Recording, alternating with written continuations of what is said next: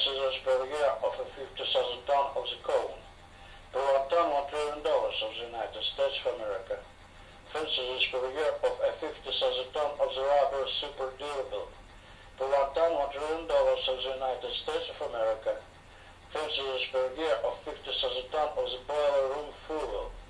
Per one ton, one trillion dollars of the United States